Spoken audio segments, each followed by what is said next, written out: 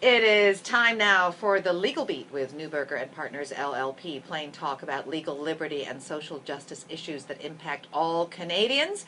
And today we are joined by Stacey Nichols for more of what we need to know and want to talk about. Um, and I guess let, let's start with the Jean Ghomeshi uh, trial because closing arguments are underway. Um, Ms. Robitaille leading the arguments uh, for the defense. Is that unusual? Would we expect to see Ms. Henein up there? I would have thought so. I would have thought so. Um, although Ms. Robitaille, I, I know her as well, and she's more than capable. But when, when you just showed me that right before we started today, I was a bit surprised. I have to say.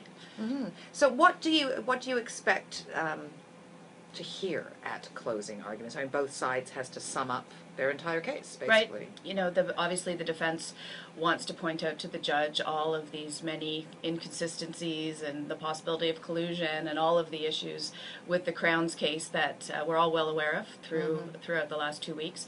So they will be focusing. The defense will be focusing mainly on that. Mr. Ghomeshi didn't testify, so they don't have to deal in any way with uh, any defense evidence.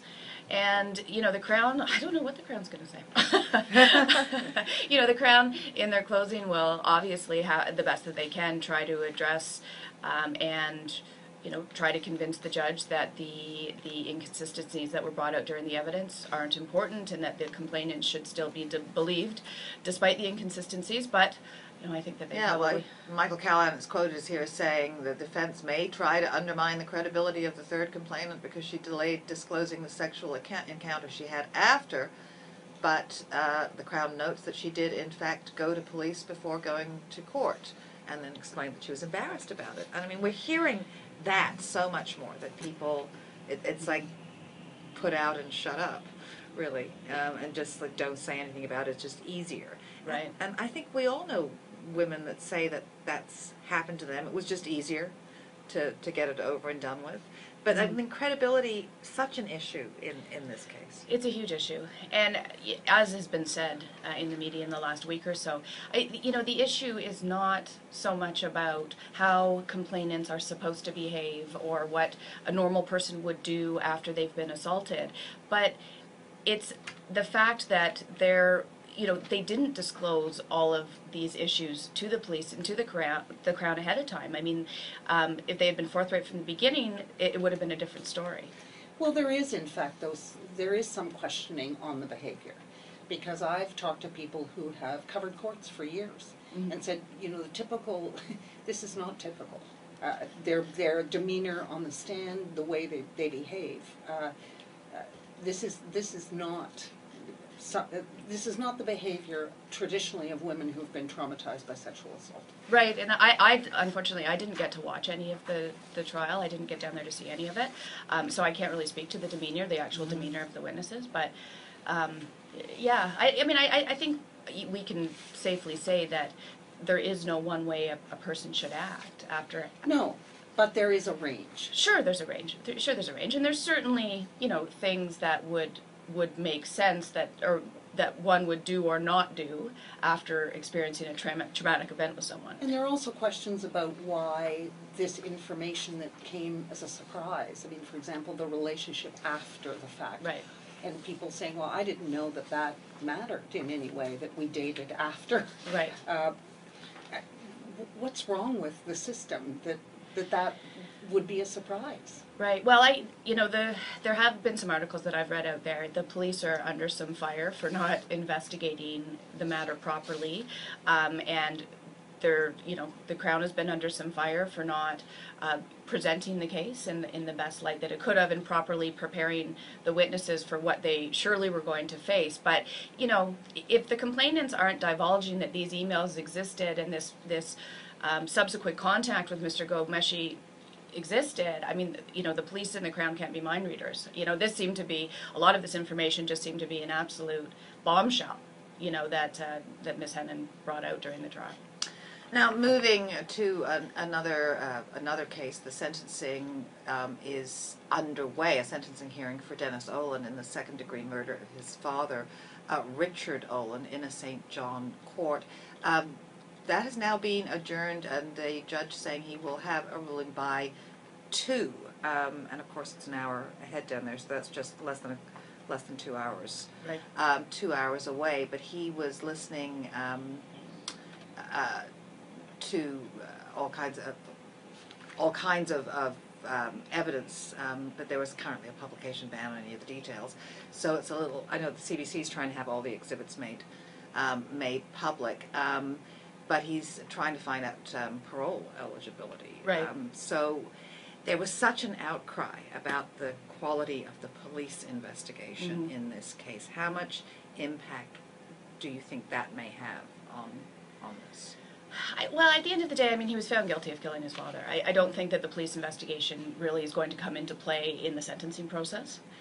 Um, I, I thought, just sort of switching on that, I thought something that I read was very interesting in relation to that case this morning is that I think the judge had to take some time because there were some 79 or something, I can't remember exactly, letters of support for Mhm. Mr. That's what he was reading. He needed time. Walsh said he Right. needed time to absorb everything he has heard from from these letters. Um, Right, and but apparently the judge was quite, um, he was quite upset by the content of some of the letters, because a lot of the letters contained, you know, uh, his Mr. Oland's supporters' opinion on the guilty verdict, and you know, expressed opinion on the fact that he should never have been convicted.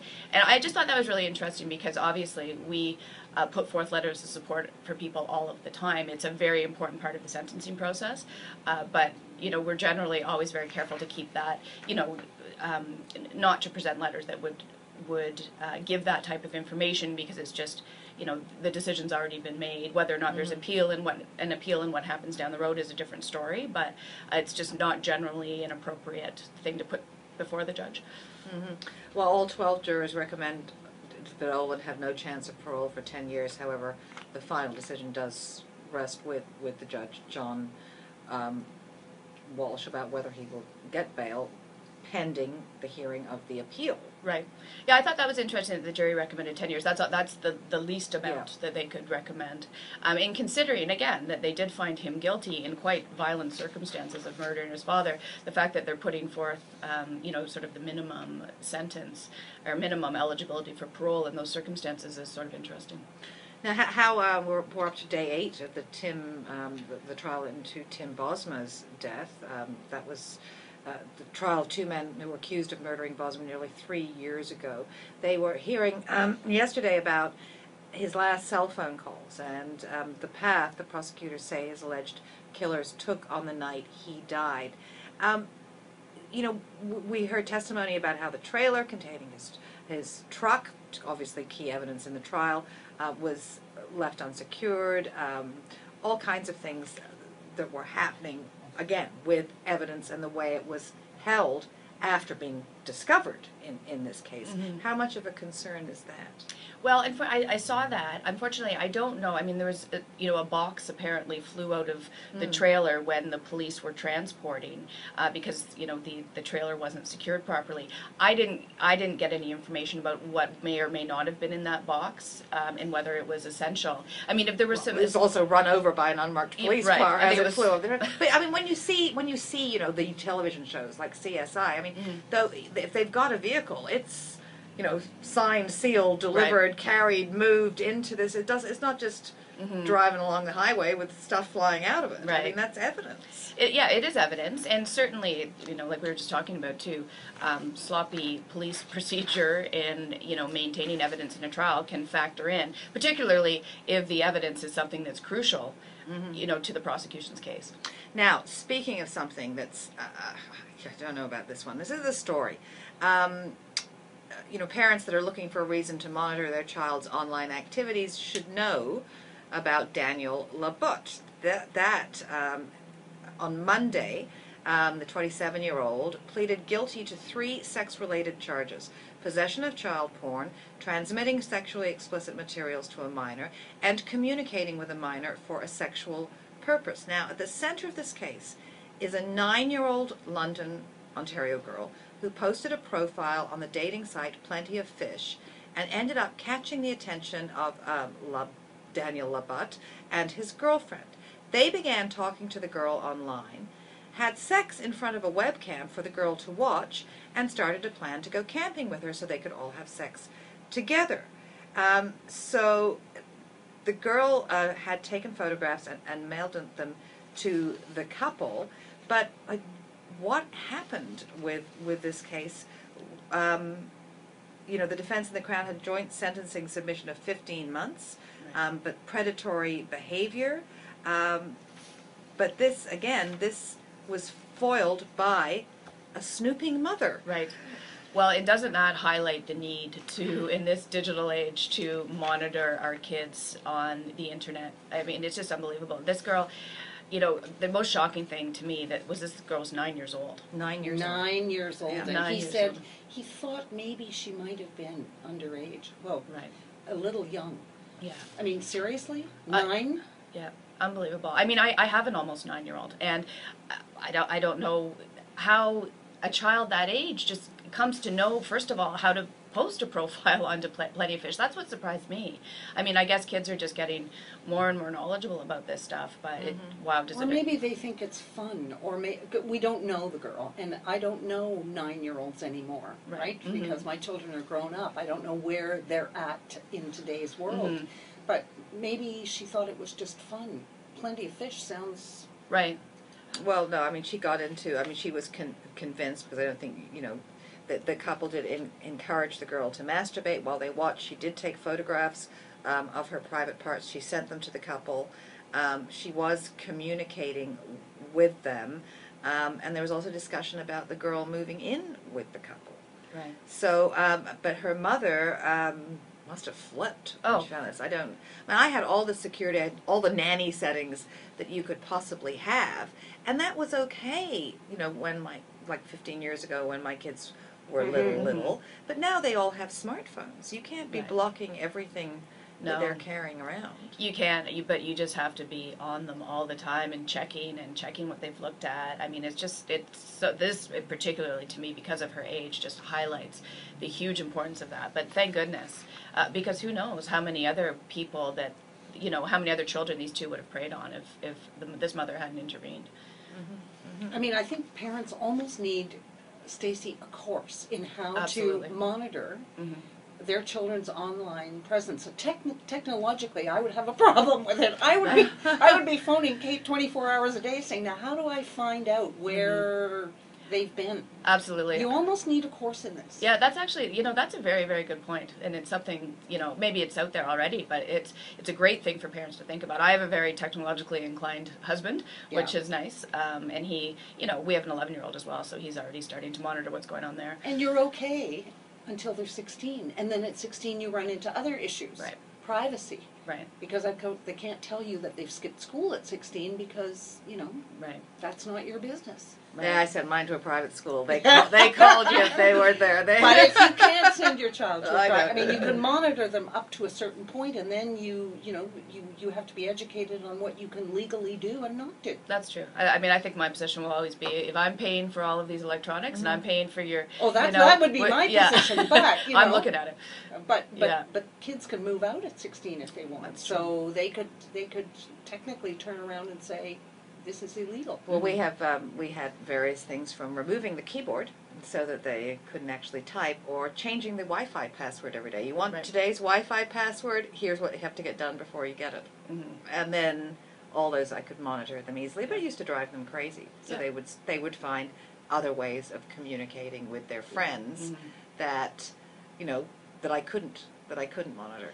But again, you know, we're talking about 15 years later. I mean, our children were in a different mm-hmm. age. You know, I mean, it was a different Hey, time. we still had dial-up. Yeah. Yeah, that's I mean, they had a cell phone with a basic plan, and it was, you know, I mean, but it wasn't, it wasn't the stuff available, and they weren't, No. You know, and they all talk about it, and you don't know what's going on at school. and- Oh, absolutely. I, I miss the old days. I saw an advertisement the other, or uh, just sorry, uh, on Facebook, uh, a, a joke kind of thing, and don't you miss these days? And it was like a teenage girl lying on the floor with the cord, you know, from the phone hanging on the wall, and we're just, you know, it's amazing how much has changed in such a short period of time. Are courts um, are they are they cracking down on on people that are moving towards young people online. Oh, absolutely, absolutely. I mean, uh, to me, even that sentence is on the low side, and I think that I think it was uh, over three years in total because he had spent the time up to his sentencing in custody. Yeah, total sentence of three years and six months um, because of time served. Right. Yeah, so. Uh, But I, but I think the judge mentioned that if it hadn't been a joint position between the Crown and the defense, that, um, that, you know, the judge may have gone higher than that. I think, you know, preying on a nine-year-old in those circumstances, that, that needs to be a high sentence. Absolutely. Yep, absolutely. All right. Well, thank you very much for coming in and uh, talking to us about all things legal today, and we had a lot, um, a lot to cover. Going on these days. well, that's good for you. Yes. all right. And before we go, don't forget to download our podcast on iTunes, brought to you, in fact, by Neuberger and Partners LLP, one of Canada's leading criminal defense law firms, expertly defending clients since 1992. Visit them online at nrlawyers.com.